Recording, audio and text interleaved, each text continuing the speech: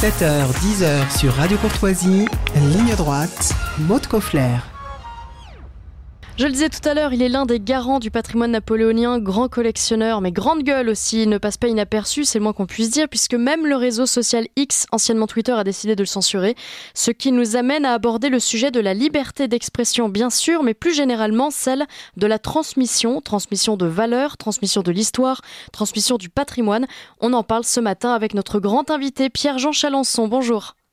Bonjour, bonjour Radio Courtoisie, chers amis. Ah, nous sommes heureux de vous retrouver. ah, mais moi aussi, ma chère. Alors d'abord, Pierre-Jean Chalençon, ça peut paraître anodin pour les oreilles de ceux qui nous écoutent et qui n'utilisent pas les, réseaux sociaux ou qui leur accordent peu d'importance, mais votre compte X a été suspendu il y a quelques heures, quelques jours, pour une raison ahurissante. Est-ce que vous pouvez nous expliquer? Écoutez, oui, c'est complètement dément, mais je crois que j'ai été victime des nouvelles, des nouvelles normes de de Monsieur Breton euh, à l'Europe, c'est ce que m'a dit d'ailleurs Florian Philippot. Euh, j'ai même pas tweeté parce que vous savez, moi je tweete des, je tweete des images de chez moi, je tweete d'objets napoléoniens, des choses comme ça. Et j'ai simplement répondu à un, tweet où il était question de la présidente de l'Europe. Alors ne me demandez pas son nom parce que c'est imprononçable. Von der Leyen. déjà pour ça, elle devrait même pas être présidente de l'Europe quand on a un nom qui est imprononçable. Et j'ai simplement tweeté, enfin répondu, euh, la, à la sorcière a brûlé, voilà. Ah. Euh, bon, voilà. Et, donc, on n'a pas, on n'a pas brûlé de sorcière depuis quatre siècles. Euh, à, à, à, ma connaissance, donc c'est pas une appel à, l'assassinat ni au meurtre ni à la haine. C'est une, c'est une phrase qu'on, qui est tombée dans le domaine, comment dirais-je, euh, dans le domaine de, de tous les Français. Enfin, tout le monde utilise cette phrase assez régulièrement, la sorcière. Euh, mm. voilà, ou à brûler, une chose comme ça. Et donc ils m'ont, ils m'ont, euh, ils m'ont, ils m'ont, ils m'ont coupé mon compte qui avait quand même près de près de 20 000. 20 000 followers. Ouais, c'est pas rien.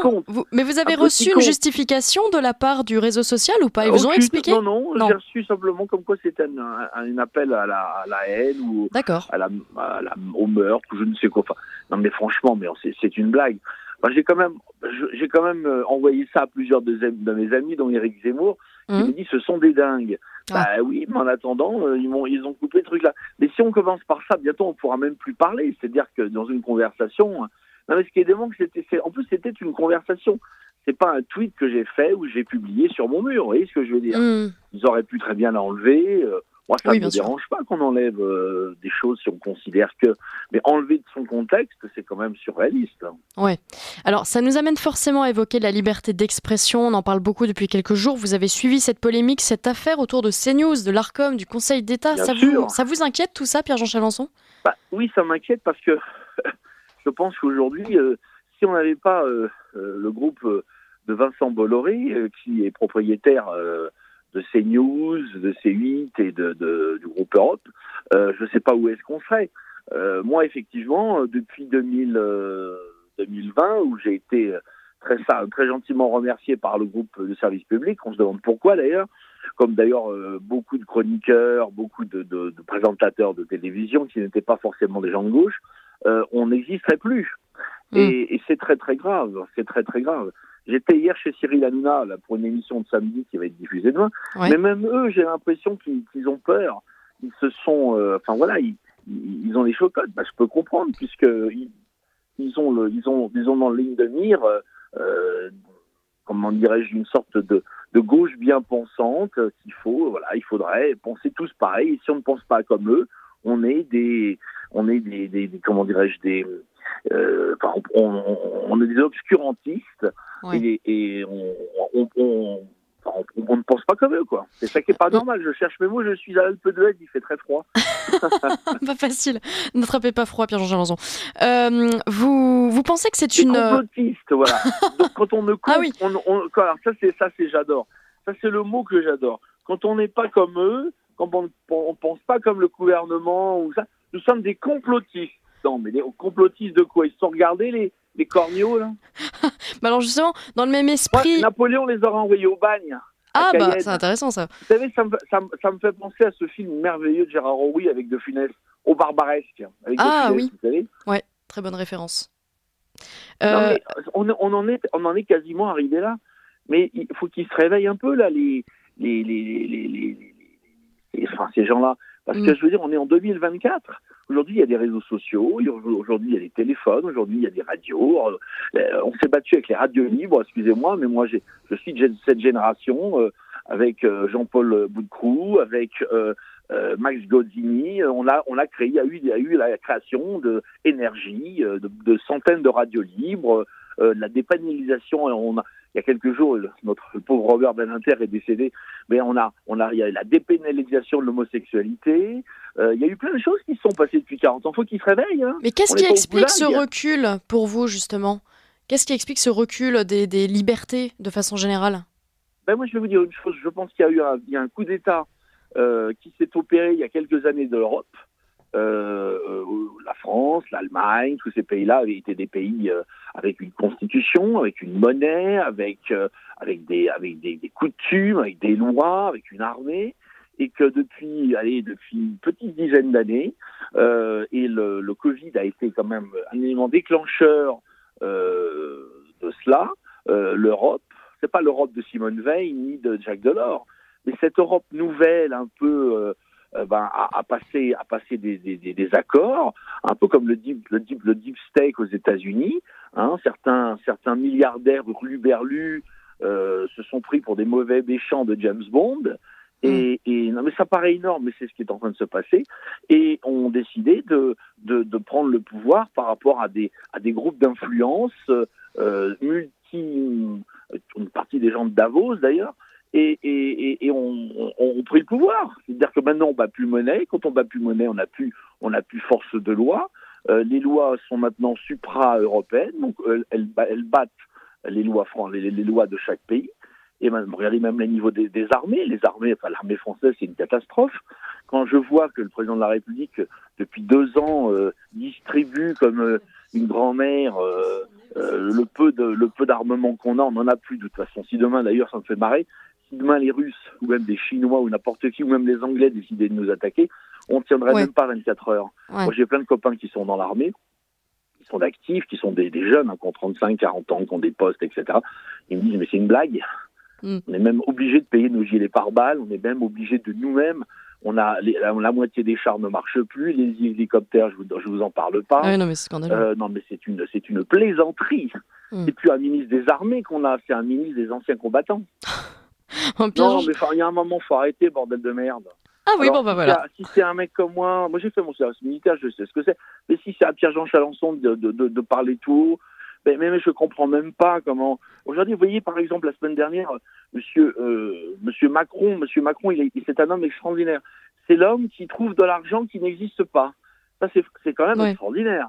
Le mec, il, il, il, euh, il, donne pas d'argent pour les hôpitaux, il donne pas d'argent pour les écoles, les prix n'ont jamais autant augmenté, euh, on viole les vieilles dames dans les EHPAD, ça s'était jamais vu non plus. Ça, qu'on, viole encore des belles, des, des, des belles blondes euh, à forte poitrine, comme disait Elise Moon, mais là, c'est même plus ça. On est envahi partout et ils trouvent quand même 3 milliards. Sachant que la semaine d'avant, l'Europe avait dit on va donner 50 milliards, donc 8 milliards pour la France. Donc là, on va mm-hmm. trouver près de 10 milliards d'euros, mais ils sont où ces 10 milliards? C'est la planche à billets.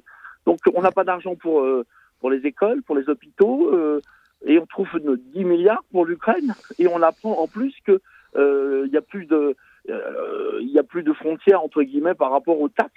Mm. Donc on, on, on, importe du poulet ukrainien, on importe des œufs ukrainiens.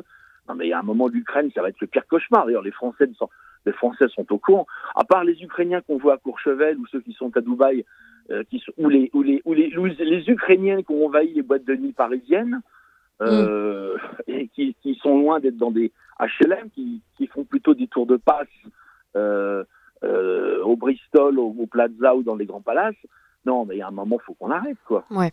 Alors, on, va passer à un sujet un petit peu plus léger. Pierre-Jean Chalençon, on vous connaît aujourd'hui sous divers casquettes. D'abord comme un grand collectionneur, vedette euh, de l'émission Affaires conclues et même chanteur. On écoutait à l'instant votre tube Danser le Chalençon. Mais d'où vous est ah, venue cette idée ça. Mais ça vient d'où? C'est sympathique, ça, ça mange pas de pain. On devrait danser tous le Chalençon à l'Elysée, ça serait génial. C'est la gaudriole. Alors vous êtes l'un des, plus grands spécialistes et collectionneurs d'objets ayant appartenu à Napoléon Ier. Que représente votre euh, collection en gros aujourd'hui pour que nos auditeurs situent bien l'envergure, l'ampleur de votre passion? Bah, moi, la collection, elle a été exposée dans Chine, elle a été exposée aux États-Unis. C'est, ah plus de 5 millions de visiteurs. Euh, c'est 2000 pièces, 1500, 2000 pièces, c'est les chapeaux de l'empereur, le testament, le contrat de mariage de l'empereur, le glaive du sac, le bâton du ah, Extraordinaire. Euh, le trône. enfin, mm. j'ai des pièces exceptionnelles. Mais même ça, vous voyez, j'en suis, j'en suis à me dire, est-ce que je me sépare pas de tout ça? Est-ce que je m'en vais bah, pas? Pourquoi? Je suis très fatigué parce que c'est fatigant.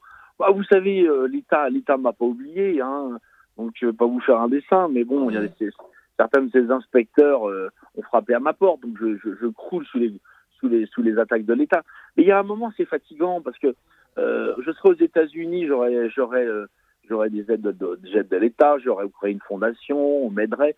Mais même aujourd'hui, oui, c'est même ce qui est décevant. Là, j'ai des, j'ai des mairies. Euh, récemment, j'avais, j'avais une de mairies du sud de la France qui me dit oui, on voudrait faire une exposition. Ah oui, ça nous intéresse. Et puis à chaque fois, ils revenaient, etc. Et il n'y a jamais de budget. Ah, ça, pour la culture, il n'y a jamais de budget. C'est pour ça que ça m'énerve aussi quand j'entends toutes ces histoires aujourd'hui. On nous parle de, on nous parle de PSG, on nous parle de, de Mbappé. Qu'est-ce qu'on a à foutre d'Mbappé? Non mais, mais qu'est-ce qu'on en a à foutre de ça? C'est des mecs qui courent derrière une balle, on leur donne des centaines de millions. Par contre, des gens comme Stéphane Bern ou moi, on peut crever la dalle. D'ailleurs, Stéphane, il a dû partir de Paris. Il a vendu le peu d'objets qu'il avait. Il est dans son, il a créé une fondation parce que sinon il ne pouvait pas s'en sortir et pourtant il, est payé par le service public. Et moi, euh, si j'avais pas le Palais d'Hygiène, mais là le Palais d'Hygiène, je m'en vais prochainement du Palais d'Hygiène parce que je l'ai loué. Mm. Je le loue à un grand groupe pour faire de l'événementiel, pour me donner de la, de la force parce que c'était compliqué d'être tout seul. Donc je me suis fait aider d'un grand groupe français. Euh, euh, dans d'événementiel, donc je suis ravi, mais je vais quitter personnellement le, Palais Vivienne et les collections vont me suivre. Alors mm. on prépare une exposition l'année prochaine à Monaco, une grande exposition à Monaco avec le prince Albert euh, au Forum Grimaldi. On a déjà loué l'espace, ça va durer deux mois et demi l'été prochain, juillet, août 2025. Euh, mais heureusement que j'ai Monaco dans un sens. Mais en France, il n'y a plus de budget pour la culture, il n'y a plus rien. Ça aussi, c'est quand même dément. Mm. Pourquoi cette, enfin, comment vous est venue cette passion pour Napoléon Ier pour revenir vraiment à, à votre collection et, à ce pourquoi on vous connaît le plus ah, aujourd'hui? Moi, je suis tombé dedans quand j'ai, moi, je suis tombé dedans quand j'ai été petit. Je suis né 23 juin 1970 euh, à Rueil-Malmaison. Donc le 23 juin, c'est la date d'anniversaire de Joséphine. Mmh. on n'est pas né on n'est pas la même année, mais enfin c'est à peu près la même chose. Et je me dis toujours que quand j'étais enfant, euh, euh, la fée, euh, la fée Joséphine a, s'est penchée sur mon berceau et voilà, il m'a donné l'envie et la passion de collectionner. Hmm. Mais oui, je collectionne tout le temps. Là, récemment, j'ai encore acheté une montre de Joséphine, une montre de, une montre de Marie-Louise, pardon, une montre de Napoléon. Euh, je fais restaurer des objets. Je suis un, je fais travailler beaucoup d'artisans parce qu'il y a énormément d'artisans. Là, d'ailleurs, il faut que je récupère prochainement le bidet de Napoléon parce que ça fait un bout de temps que je l'ai fait restaurer, mais les sous manquaient. Oui, donc euh, euh je, me bats au quotidien pour l'histoire de France. Mm. Là, je viens d'apprendre que j'ai prêté au château de Versailles. En ce moment, j'ai un tableau, des tableaux importants. Il y a une très belle exposition d'Horace Vernet. Je, je, je, comment dirais nos amis du euh, Radio Courtoisie sont euh, près de Versailles. Il y a eu le château de Versailles. Une très belle exposition Horace Vernet en ce moment au château, où j'ai prêté un tableau important, l'apothéose de Napoléon par Vernet. Voilà, je, fais ce que je peux, mais il y a un moment, mm. euh, je me sens bien seul. Mais en collectionnant tous ces objets, vous avez le sentiment de protéger un pan de l'histoire de France quand même?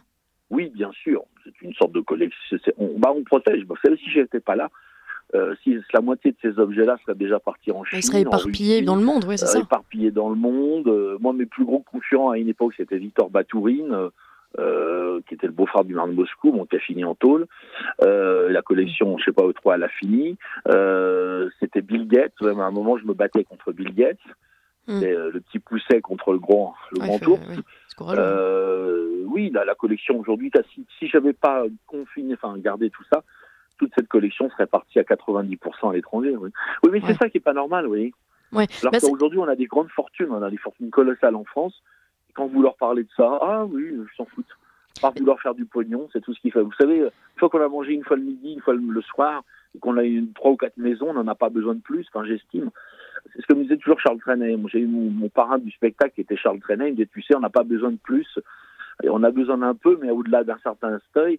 Et malheureusement, nos, nos, grosses fortunes françaises ne sont ne m'ont jamais contacté, en tout cas pour me dire on va vous aider, on est on est là. Je serais aux États-Unis, j'aurais été aidé de, de, de mille façons. Mm. Ici, on veut vous assassiner. Est-ce que c'est également un acte de militantisme? L'histoire de France est de moins en moins bien enseignée. Est-ce que le fait d'exhiber aussi cette collection et cette passion sont pour vous un moyen de rendre cette histoire accessible, voire de la vulgariser? Moi, j'ai toujours essayé. Moi, je suis un, je suis un ami d'Alain Decaux, euh, André Castelot, surtout Alain Decaux que j'ai très très bien connu. Euh, et j'ai toujours voulu euh, rendre l'histoire euh, facile à tout le monde, facile aux enfants. Quand j'étais à France Télévisions, je, quand je parlais de Napoléon ou de d'autres de choses, quand je parlais de François Mitterrand, quand je parlais de, de gens que j'avais connus ou d'objets qu'on avait, eh bien j'essayais de vulgariser l'histoire. C'est d'ailleurs pour ça que l'émission a eu autant de succès à l'époque. Maintenant, c'est différent. Mais je veux dire, euh, voilà, moi j'ai toujours cherché à vulgariser l'histoire, un peu comme Stéphane aussi l'a fait. Mais bon, il y a un moment où il ne faut pas non plus trop vulgariser, parce que ça devient, ça devient, ça devient bébé, ça devient bébête. Mais mm. l'histoire, on doit respecter l'histoire, on ne doit pas non plus euh, les gens pour des imbéciles. Mais euh, l'histoire est quelque chose d'important. Et quand on connaît son histoire, on connaît son présent, on connaît son passé surtout, mais on connaît mm. surtout son, son futur. Et c'est d'ailleurs pour ça qu'on essaie d'abêtir les gens aujourd'hui avec des émissions totalement, euh, totalement, euh, enfin, minables et je dirais que le service public en est le champion en ce moment. Euh, il n'y a plus d'émissions vraiment, même euh, Secret d'Histoire, qui était une émission passionnante, euh, ils l'ont relayé sur France 3. Aujourd'hui, sur France Télévisions, sur France 2, il n'y a plus une émission d'histoire. Sur TF1, il n'y a pas une émission d'histoire. Mm. Alors ne parlons pas sur C8, sur, sur M6, il n'y a rien, rien, rien, rien. C'est quand même dément. Enfin, moi, je suis quand même effaré de ce que je vois aujourd'hui. Euh, et c'est pas, moi j'ai essayé, hein, j'ai essayé. Genre on me dit ah Monsieur Chalençon, vous êtes génial, on vous aime, vous êtes populaire. Ah mais c'est malheureux quand même, on n'a pas de créneau pour vous, c'est ce qu'on me dit. Là ça fait trois ans que j'ai des rendez-vous sur euh, RTL, Europe 1. Là je, dois aller voir a priori la semaine prochaine. Ah mais on a, on avait des super projets, c'est génial. Ah c'est génial. Ouais. Dommage on n'a pas de créneau. Ah, ah pas de... Quand on veut trouver des créneaux, on les trouve il y a un moment, ça va. Et vous ne voulez pas euh, créer votre propre émission, mais sur, euh, sur les réseaux, enfin sur YouTube, ce genre de choses? je pourrais, Écoutez, je pourrais le faire. J'avais créé une petite chaîne à un moment, mais bon, il faut que je m'y mette. Le problème, c'est que je euh, en arriver là, c'est quand même assez affligeant. Mais bon, effectivement, aujourd'hui, vous avez tout à fait, vous avez tout à fait d'accord, vous avez tout à fait raison. Aujourd'hui, qu'est-ce que j'avais dit d'ailleurs il y a quelques temps chez Anima J'avais dit de toute façon la télévision classique n'existe plus. D'ailleurs, on le voit. Mm. Les jeunes ne regardent plus la télé. Les jeunes, ils sont sur YouTube ou sur, d'autres, d'autres plateformes. Et euh, il n'y a qu'à voir le journal de 20 heures entre TF1 et France 2. Avant, c'était 25-30 millions de téléspectateurs. Aujourd'hui, c'est péniblement 8 ou 9 millions de gens le soir. Euh, donc, bien entendu, euh, on pourrait le faire. C'est pas de ma génération, mais s'il faut, je le ferai.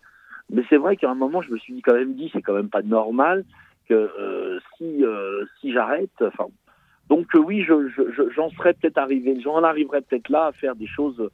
Mais bon, j'ai tellement de projets aussi à l'étranger, peut-être d'ouvrir un grand musée Napoléon à l'étranger. J'ai plein de choses en ce moment dans, dans la tête. Vous n'allez pas quitter la France quand même Comment? Vous n'allez pas quitter la France quand même je, je, vais pas, je pense que je ne vais pas y rester encore très longtemps.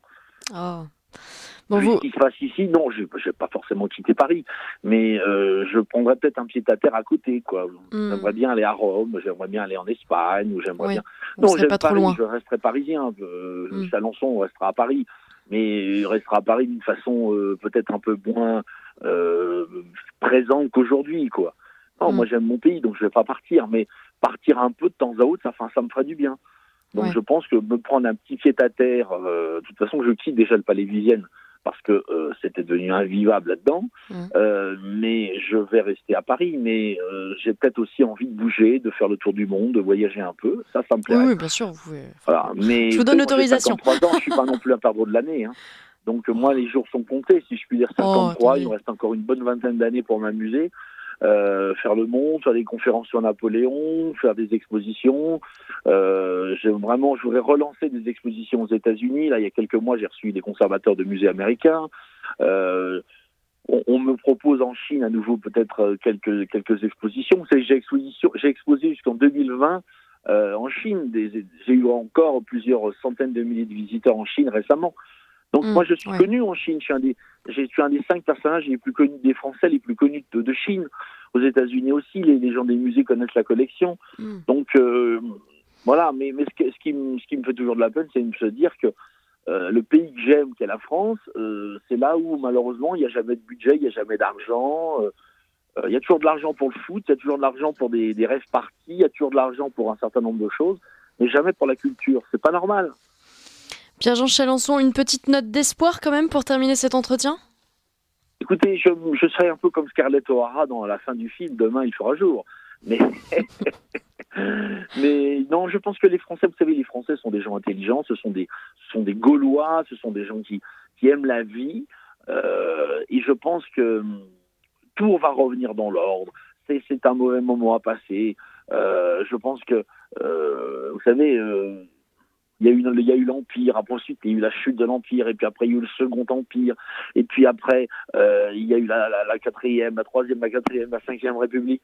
Regardez le général de Gaulle, c'est fantastique. Oui. Il a, il a repris la France. Bon, bah là on n'en est, on, on en est pas encore là, mais il faut faire attention parce que à force de vouloir détruire un peu tous nos, tous nos héros, euh, c'est un peu dangereux et on a, de la, on a la chance en France, on a des héros fantastiques de, Nap de Louis XIV à Napoléon, en passant par le général de Gaulle on peut choisir quand même le héros qu'on aime. Voilà. Mm. Eh bien, merci beaucoup Pierre-Jean Chalençon. Je rappelle que vous êtes grand collectionneur euh, de Napoléon Ier, que vous êtes. Euh, est-ce qu'on peut vous qualifier d'historien? Oui, parce que je, par, par, par, par force, je, je, le deviens. Ouais. Et j'ai quand même publié un certain nombre de, de livres, d'ailleurs qui sont tous sold out, donc c'est-à-dire que ça marche. Mm. Euh, et j'en connais beaucoup plus que certains pseudo-historiens. Moi, j'ai pas besoin de lire mes, dans mes notes pour vous parler pendant deux heures euh, de Louis XIV, de Louis XVI, de la Révolution française. Je suis pétri d'histoire. Ça, ça c'est ça ma force. C'est d'ailleurs ouais. pour ça que je fais peur. que moi, je peux, je peux faire rire des centaines de personnes, des milliers de personnes, des millions de Français, euh, et je peux dire la vérité en rigolant. Je suis mm. un peu le fou du roi, et c'est ça qui, qui, est important. Il faut garder cet esprit de gentillesse. Moi, je suis un mec gentil, mais euh, en face, on n'a pas forcément des gens gentils. La preuve, vous voyez, il y a deux jours, mm. ils ont quand même essayé de, ouais. de me bannir de, de, de X. Eh bien, c'est on... pas Elon Musk, hein, c'est parce que bah, le problème, le ménage a été fait aux États-Unis, mais pas en France. Quoi. On, on, espère vous lire encore longtemps sur le réseau social X et, euh, et pouvoir euh, visiter un jour le Palais Vivienne et admirer votre collection. Merci beaucoup, Pierre-Jean Chalençon. À très bientôt sur notre antenne.